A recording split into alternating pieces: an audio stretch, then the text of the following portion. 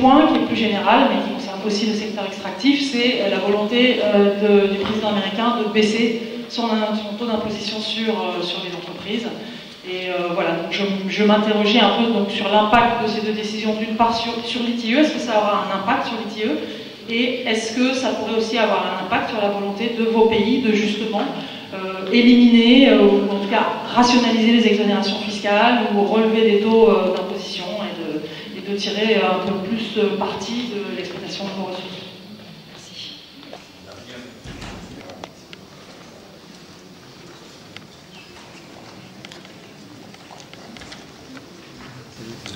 oui, je remercie donc le donc les panélistes les codes miniers dans nos pays sont plutôt dans des codes qui, euh, paradoxalement, donc, euh, contrats d'adhésion de l'État fait et, la victime. Puisque si on fait un peu l'analogie donc, avec les concepts qu'on connaît en, matière de droit des biens, et donc l'État peut-être donc a une propriété plutôt donc, théorique, mais qui transfère donc la propriété donc, du très fond du sol c'est-à-dire donc les limites dont il dispose donc à la société en définitive, si on ajoute à cela plusieurs autres donc, contraintes, la stabilisation juridique et fiscale, euh, euh, en fait, et naturellement donc les dommages en matière donc, écologique, en définitive, la, question donc, de la transparence aussi donc, pose problème donc, dans, nos États. Parce que donc l'initiative donc, euh, en matière de transparence de l'industrie extractive pose des problèmes en termes de conception des rapports que l'État font. En règle générale, donc la société civile est plutôt donc une société civile cooptée. Et donc, en règle générale, donc, les rapports peuvent, et comme donc, il y a souvent donc, une entente entre l'État et les entreprises, on peut dire que globalement, donc, les États euh, ne tirent qu'un profit véritablement minime euh, par rapport donc, à ces. Euh, je, pense que l'intervention qu'a faite tout à l'heure notre collègue peut-être donc intéressant, et les propositions des réformes qui ont été faites par notre ami, donc la coordination, sans doute, il y a donc, des capacités techniques et financières euh, des, États qui sont sans doute donc un obstacle, peut-être donc justifie que les codes sont plutôt donc euh, en faveur donc, des entreprises elles-mêmes. Mais il est peut-être de réfléchir donc, à une approche plutôt donc euh, interétatique. Et donc, sur donc, pour un peu faire un contrepoids par rapport donc, aux entreprises sur donc, les modalités juridiques d'exploitation donc, des qui tranchent fondamentalement donc, avec les principes qui sont connus en matière donc, des biens et donc la plénitude de la propriété donc, de l'État donc, sur ces euh, ressources. Merci. Est fixé à 5%. Et je souhaite savoir si cette disposition est simplement incitative ou obligatoire, puisqu'au Mali, on a quelques difficultés d'interprétation par rapport à ce point. Autrement dit, au Sénégal, est-ce que l'actionnariat de la société d'exploitation est obligatoirement constitué donc de la société de recherche qui a transmis le permis de recherche, de l'État et également de l'actionnaire euh, national privé La deuxième question, vous avez également évoqué la possibilité d'hypothèque du permis d'exploitation.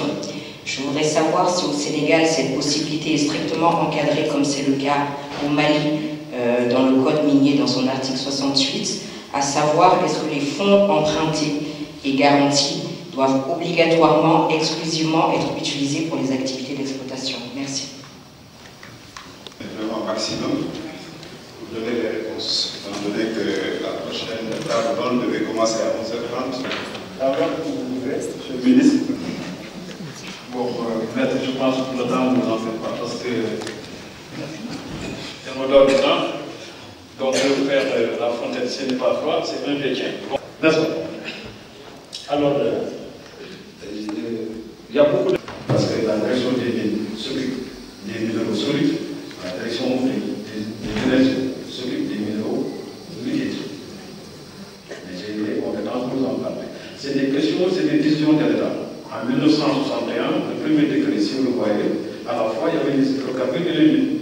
La direction que j'ai héritée, jusqu'à euh, récemment, c'était la direction qui gérait le pétrole et les mines. C'est des questions d'organisation de, de, choix. De choix. Nous avons au Sénégal, si vous allez dans notre pays, ce n'est pas la même chose. Mais euh, en état de cause, vous allez voir, c'est les mêmes procédures. les mêmes titres. Hein. Euh, c'est presque la même chose. Mais on pourrait bien d'avoir en vous allez en Afrique. Il y a des pays qui ont le code minier ensemble. Il y a d'autres pays qui ont des séparés. C'est des questions de choix. Mais il n'y a pas de problème en tout cas parce que les mêmes géologues qui sont à Petrocène, c'est les mêmes géologues qui sont chez moi. Ont été à la même école. Donc, euh, les ministères de l'économie et des finances, on va essayer de revoir certaines dispositions du Code général. Parce que nous avons.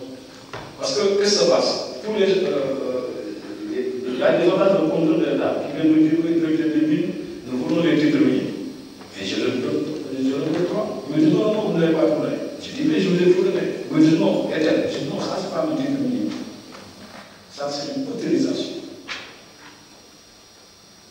Donc, pour éviter que chacun parle de titre minier à gauche, à droite, oui, nous avons dit titre minier, tout acte administratif du ministère des Mines conférant des droits miniers. Je vais revenir, monsieur, maître euh, sur votre question, Tout acte administratif qui confère des droits miniers et titres miniers, autorisation, permis, etc. Maintenant, à l'intérieur des actes, on discrimine. Parce que dans l'ancienne loi 2003, on considérait que titre ou titre minier, c'est toute autorisation, permis, concession et cette conjonction-là qui confère le droit immobilier. Et de prescription ne confère pas le droit immobilier. Le permis de recherche ne confère pas le droit immobilier. Donc, à quoi bon dire titre minier et après à lever vous esprits? Nous avons dit non, considérons que le titre minier, c'est l'ensemble des actes qui sont conférés. Et dans le cadre des conventions minières, ce ne sont pas uniquement des droits miniers qui sont conférés. Il y a des droits environnementaux qui sont conférés. Il y a des droits financiers qui sont conférés. Il y a des droits douaniers qui sont conférés. Il y a d'autres droits de travail qui sont conférés. Il y a des droits et des droits. Mais comme dans le secteur des mines, on ne traite que de ce qui est minier, le titre exclusivement confère des droits miniers. Et comme tel, quand il s'agit d'un permis d'exploitation, à valeur, déclaration de et confère successivement des droits fonciers. C'est pourquoi la superposition titre minier, titre foncier doit faire l'objet d'un enregistrement au niveau de la. Donc, tout ça, on pourrait peut-être, euh, je vous laisserai mes contacts et tout, hein, euh, donc disponible pour échanger sur ces questions. Et quand je dis un acte de commerce, c'est ce qu'on fait pour la commercial, ça, ça, signifie. C'est un acte de commerce. Euh, mettre sur une femme, l'affaire passe sur l'hôpital. Euh, bon, on ne va pas trop développer ici, hein, mais c'est clair Je dis souvent que des fois les gens disent oui, c'est pas clair. Je dis oui, c'est pas clair parce que pour vous, c'est pas clair. Mais c'est clair. Euh, euh, Maître Bougie, vous l'avez cité, j'ai travaillé avec lui sur ce dossier. J'ai travaillé avec lui sur ce dossier. Euh, euh, la procédure a été une procédure régulière. À son évidemment, nous sommes allés en arbitrage. Bien avant Macky Sall, et à l'arrivée de Macky, ils sont venus dire que nous voulons discuter. Nous avons dit oui, on discute, en présence de l'avocat qu'on mais on continue la procédure judiciaire. Les estimations là, nous avons travaillé avec l'expert, le cabinet qui a fait les travaux, le draft. Parce que quand on fait des estimations, il y a plusieurs méthodes de calcul de ces estimations. C'est un draft, ce n'est pas un document final. À ce moment-là, quand même, il faut faire, je ne suis pas juriste, mais quand même, je suis un mécanicien. Il y a une procédure judiciaire, il y a une procédure de médiation. Dans la loi, la loi au Sénégal, le représentant de l'État du Sénégal en matière de convention et de contrat minier, c'est le ministère des Mines. Et pour les dispositions fiscales, économiques et douanières, doit recueillir l'avis du ministère de l'économie finances dans un délai de 21 jours. La procédure judiciaire est en cours. Vous avez une procédure de médiation qui se fait en dehors du tribunal, où le seul et unique représentant de l'État en matière de contrat, c'est le ministre des Mines, donc qui est valable pour moi, qui peut discuter avec n'importe quel médiateur. Lorsqu'arrivent des décisions ou des propositions en matière économique et financière, doit recueillir l'avis du ministère de l'économie et des finances. C'est pourquoi dans le document de transaction concluant la délégation, le ministre de l'économie des finances des Mines, seul représentant de l'État en matière de négociation et de signature de contrat dans le secteur des mines, c'est nos figures. L'agent judiciaire de l'État est un agent dans la procédure judiciaire. Donc il ne faut pas s'alarmer que le ministre des Mines a signé, il doit signer, et si on fait venir délégation, je signe en tant que des Non, c'est pas une discussion qu'on va avoir Après, on le fera en café. Hein? Maintenant, les agents judiciaires, là, ils ont l'État, qui avait été désigné et qui est Mais, parce que. je ne connais pas votre tribunal, je ne pas votre tribunal. Mais l'essentiel. C'était Nafino Keita qui avait été désigné par l'État du Sénégal et elle a vu que ces conditions étaient tellement euh, désavantageuses pour, pour l'État sénégalais qu'elle a refusé. Merci. Et elle est passée par la suite à l'OFNAC. Je détiens des preuves formelles. Ce que vous dites, ce n'est pas vrai. Merci. Merci pour le dites. Mais sachez que, sachez que c'est ça la vérité. Concernant donc euh, cette affaire nationale, les documents, pour ceux qui ne sont pas euh, informés, toute la documentation est disponible au site web du gouvernement. Vous allez télécharger l'ensemble des contrats, tout ce qui a été négocié ici, et chacun pourra se faire une idée là-dessus. Euh, Maître Reifakou, donc encore une fois, je vous salue, vous remercie. Vous faisiez partie des personnes que je devrais saluer, mais là, c'est le moment. Euh, la fiscalité, euh, euh, vous savez maintenant avec le nouveau, la, le nouveau corps minier, on, a, on est retourné à l'étape avant 88. Dans, la, dans le code minier, il n'y a plus de disposition fiscale. C'est dans le code général des impôts de 2012. Je vais demander à Madame euh, qui va faire la fiscalité d'insister sur cette question-là. Donc, tout est rapatrié, rapatrié au niveau du code de 2012. Le permis de recherche, euh, donc, euh, pour les sessions, donc, en tout cas, pour tout ce qui est accord, protocole, euh, contrat, portant sur session ou transfert, doit recevoir de la procuration préalable du ministère des Donc, à ce niveau, il n'y a pas de, de, de difficulté. D'ailleurs, demain, pendant deux jours, nous allons traiter de la question du décret d'application de la loi et nous voulons introduire une disposition essentielle pour éviter les, les, comment les spéculations. Dire que quand un titre minier est accordé dans un délai indiqué, une transaction ne va pas être faite. C'est pour éviter vraiment que euh, Ousmane donne à Major, Major à, à mettre et chacun s'enrichit euh, infiniment. Et on va mettre ça dans, la, dans, la, dans le décret d'application. Le maître euh, connaît Khalifa. Bon, les principales innovations, dit tout à l'heure, j'ai pris le raccourci. Mais vous en avez déjà cité en parlant du fonds d'appui et développement local. 0,5% du chiffre d'affaires des sociétés. La principale innovation dans notre communion au Sénégal que peut-être la seule disposition que vous allez trouver uniquement dans le communion du Sénégal, c'est ce qu'on appelle le contrat de partage de production. Le contrat de partage de production, vous allez parcourir beaucoup de codes pour ne trouverez pas. Ça ne figure que dans les contrats pétroliers. Nous l'avons, et nous avons été critiqués, nous l'avons défendu, pour dire que ce contrat de partage de production est un contrat à la fois sélectif et optionnel. Donc, on maintient le même système de permission qui reste, mais quand même, le Sénégal de 2016 n'est pas le Sénégal de 1960. En 1960, les colons nous ont dit que vous avez ici du l'or, ici du phosphate. Mais en 2016, nous connaissons de nous-mêmes ce que nous avons en tête et partie. Donc les procédures d'octroi des licences et des permis se feront sur la base d'une l'option que nous ferons, mais également on va choisir les minéraux pour lesquels ça se fera. Ce sera la première fois que ça se fait, on verra par la suite les améliorations à apporter. Donc ça c'est une innovation, il y en a d'autres, j'en avais ici dans la même salle, euh, citer 34 mesures. Je ne vais pas le faire aujourd'hui.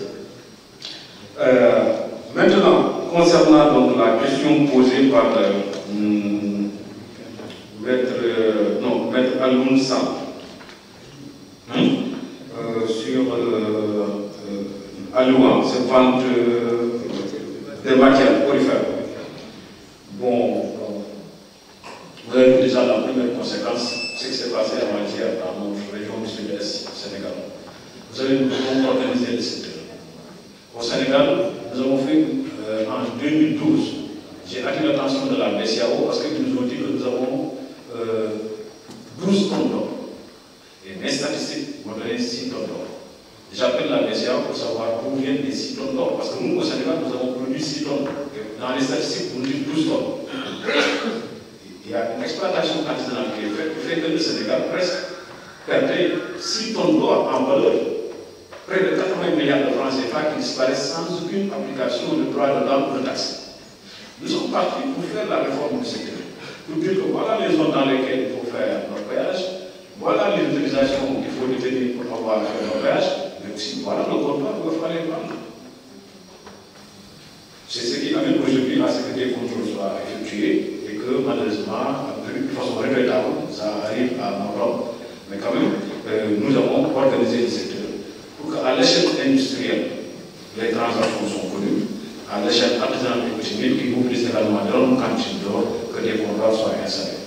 Donc, sous peu, nous allons nous rendre à Kédougou pour organiser l'installation de ces contrats. Nous allons autoriser 5.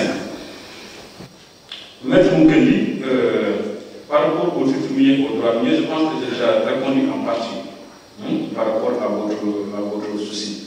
Euh, ici, l'objectif que nous avons, donc c'est une compréhension, une visibilité, que la loi soit euh, facile à lire, que les titres que nous, que nous octroyons soient bien catégorisés, mais surtout savoir que le titre minier ne peut conférer que des droits miniers. Parce qu'il y a d'autres activités. Quand vous quand on est en phase de recherche, on est en phase de recherche. En phase d'exploitation, il y a ce qu'on appelle la construction. Quand vous faites la construction, ça peut être de la, euh, du domaine de l'urbanisme. Construction ferroviaire, ça peut être du ministère chargé des transports qui décide une convention, une concession ferroviaire. Et ces droits ferroviaires ne sont pas dans le minier. Mais en, principe, dans la convention minière, on, on déjà l'État s'engage à conférer ces droits annexes. Donc le titre minier, exclusivement porte sur les droits miniers, mais il y a d'autres types de droits qui sont à l'intérieur de la convention, qui nécessitent l'application d'autres lois et règlements, ce qui fait que nous sommes arrivés à donc, le préciser. Le permis de recherche et le permis d'exploitation, on n'a pas besoin, en tout cas l'intérieur de l'exploitation, d'un autre permis, en dehors des permis indiqués dans les différentes lois. Je suis département environnemental, doit être fait, ce n'est pas le minier. Il faut aller dans le code de l'environnement pour avoir l'autorisation. Quand vous voulez faire votre code, donc il y a beaucoup d'autres lois. C'est pourquoi on appelle code d'ailleurs. C'est pourquoi on appelle code minier. Parce que ça fait intervenir finalement presque tout ce qu'on a comme, euh, comme arsenal ou bien instrument du truc dans ce sens-là. Euh, les conventions minières, c'est récent. Je vous disais que de 1895 à 1945, c'était des cahiers de charges. Et quand vous lisez ces cahiers de charges, vous allez vous rendre compte qu'on a fait un effort important, très important. Et de 1945 à 1988, on était dans ce qu'on appelle les conventions d'établissement.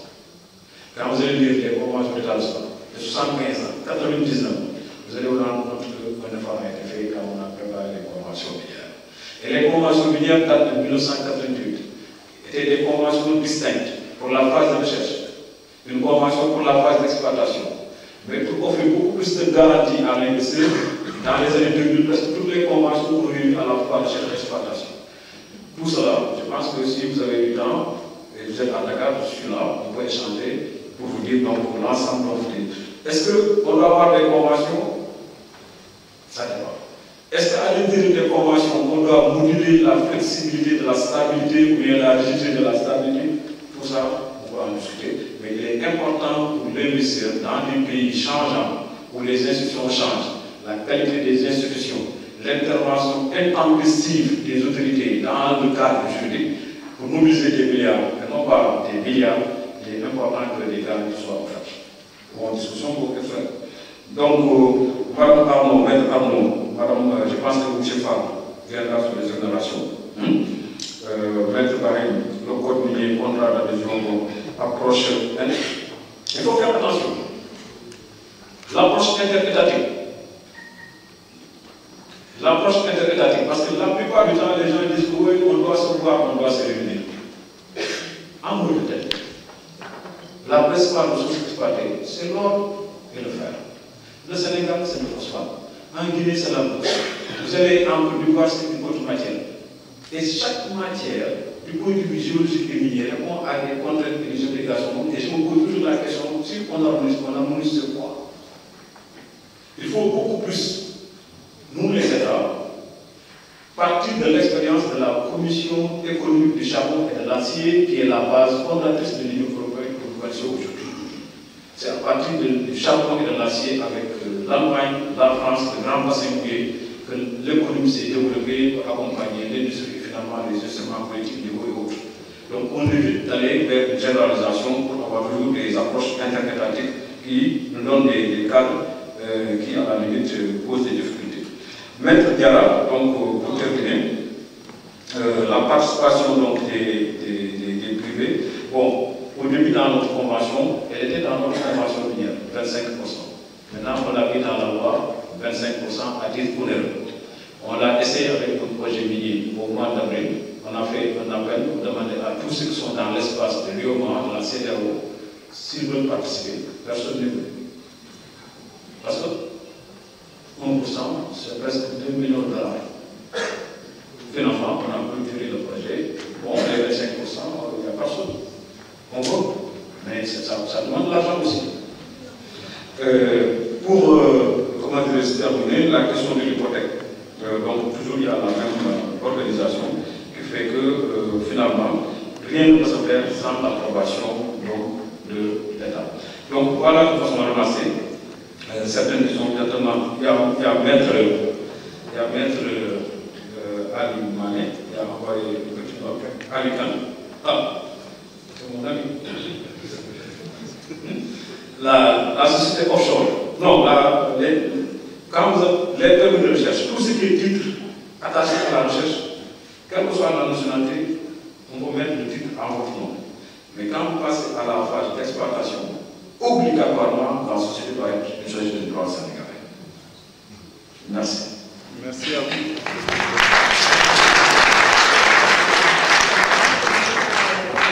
L'autre, il y a une grosse catégorie prévue. C'est bizarre d'ailleurs parce qu'on est à même déjeuner. Mais je vous demande encore deux ou trois minutes de patience pour terminer cette table ronde. Monsieur le ministre conseil. Et euh, ici, ajoute que nous avons des problèmes de temps. Donc, je dirais brièvement, juste en deux minutes, euh, il y a, il y a des femmes qui, qui, qui, qui disaient pourquoi c'est pas le code, etc. Mais comme le directeur des pays l'a dit, c'est quelque chose qui est possible. Tout comme vous avez des pays, par exemple, il y a trois codes au lieu de deux. Vous avez le code des mines, un code du pétrole, un code du gaz. Vous avez des pays où il y a un code des mines, un code des hydrocarbures. Et au Sénégal, on va évoluer, le code du pétrole va devenir un code des hydrocarbures, parce qu'on va passer à l'exploitation du gaz. Donc c'est une question de politique juridique, en principe. Euh, sur ArcelorMittal, je pense qu'il y a des éléments de donnés. Je voulais juste ajouter une chose. Bon, euh, nous, quand il y a euh, une affaire comme ArcelorMittal, qu'est-ce qu'on fait? On regarde le montant qui a été arrêté, ce 75 milliards, et on le retrace. L'entreprise prouve qu'elle a effectivement, ou qu'elle va effectivement verser 75 milliards. C'est certifié par le ministère indépendant. Et on le retrace dans la loi de finances. Pour 2014, par exemple, il y a euh, 49 milliards qui ont été, euh, euh, qui, sont retraçables dans la loi de finances de l'année, 49 milliards. Pour 2015, ça va faire 25 milliards. Après, le reste était dans la loi de finances 2016. Les 75 milliards ont été payés en trois tranches. Je le sous le contrôle du. Voilà. Donc, euh, les exonérations fiscales, bon, ça aussi on a. Et je pense que je vais pas dire ça, ça va mettre thème. les exonérations fiscales, parce qu'il y a beaucoup de choses à dire sur ça. Évidemment, il y a deux positions. La première consiste à dire qu'il faut des exonérations fiscales pour attirer les entreprises.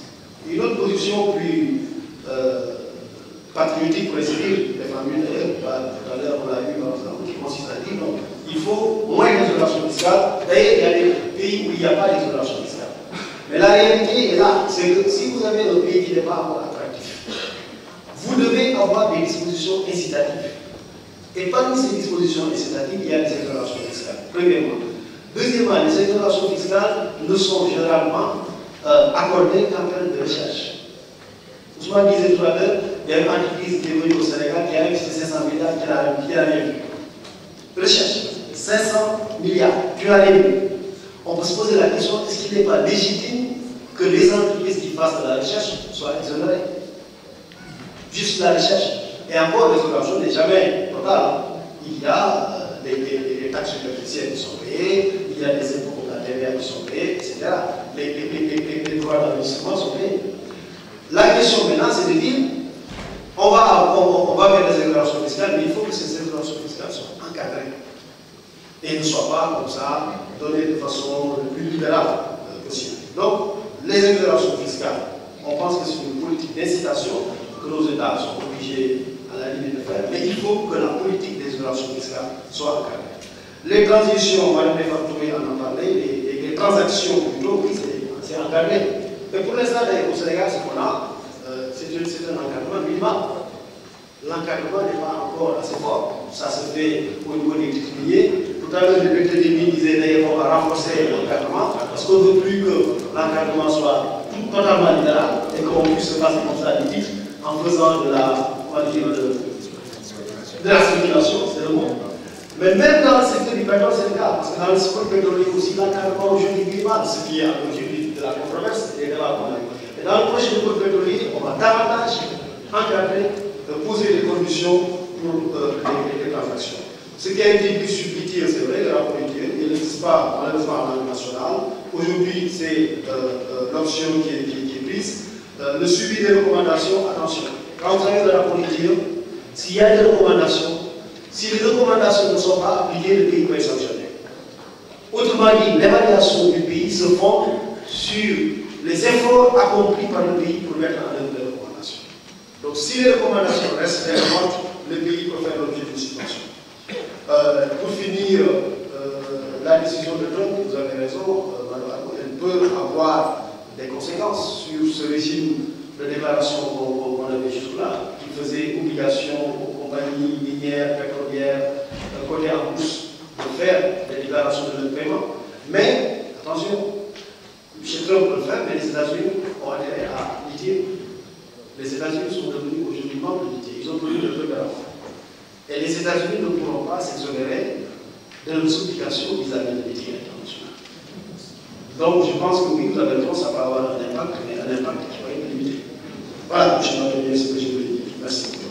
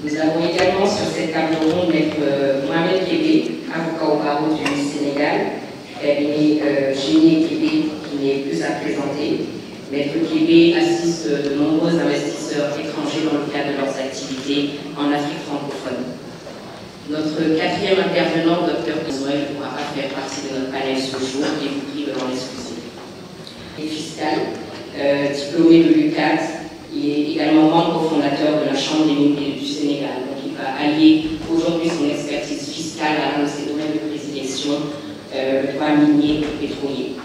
Quant à moi, j'ai l'honneur de modérer ce panel. Je suis maître Fatoumata Siboussara, avocate au barreau de Paris et du Mali. J'interviens en droit minier, euh, projet de partenariat public-privé, euh, énergie infrastructure. Donc, sans plus tarder, je vais euh, passer la parole à notre confrère Mohamed Kébé qui va nous entretenir donc, des titres miniers et pétroliers à l'aune du nouveau code minier sénégalais de 2016. Merci panel. Je pense que c'est un panel assez, intéressant et assez important, puisque, comme vous le dites, le Sénégal vient d'avoir un nouveau code minier, euh, dont l'application d'ailleurs n'est pas encore sortie. Et euh, ce qui s'est passé récemment également en termes de couverture dans les hydrocarbures fait que sujet est d'actualité. Et je suis tout à fait honoré de partager ce panel avec euh, mon confrère et mon ami qui sont avec moi. Et en fait, j'ai travaillé avec eux sur des, sur, des, sur, des, sur, des, sur des projets. Et c'est tout à fait intéressant quand praticien, on se retrouve ici pour discuter de ces questions-là. En fait, pour aller, pour aller sur le sujet, je pense qu'une grande partie de, de, la question a été déjà abordée ce matin